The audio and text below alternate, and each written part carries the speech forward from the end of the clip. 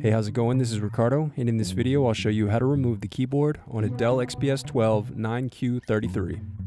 If you're looking for parts for this laptop, go to our website and use this coupon for a 5% off discount.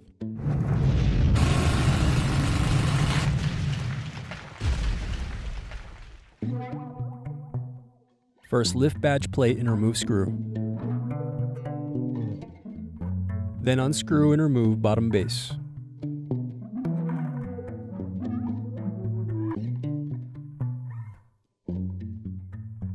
Now unscrew and disconnect battery.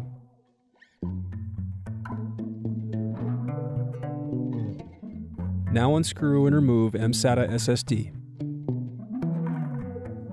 Then unscrew and disconnect wireless card. Then unscrew and disconnect input-output circuit board. Now disconnect CMOS battery. Then disconnect motherboard cables.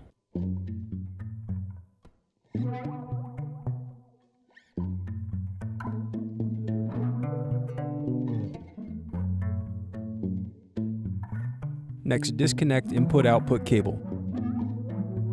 Now disconnect CMOS battery. Then unscrew and remove heatsink. Next, disconnect input-output board cable.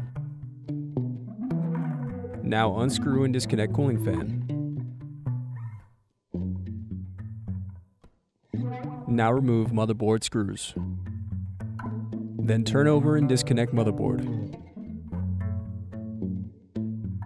Next, unscrew and remove bracket and keyboard. Thanks for watching. Don't forget to like and subscribe if you enjoyed this video. And if you need more, check out this playlist to watch other tutorials for your laptop. You can also click here to find parts for your laptop at partspeople.com.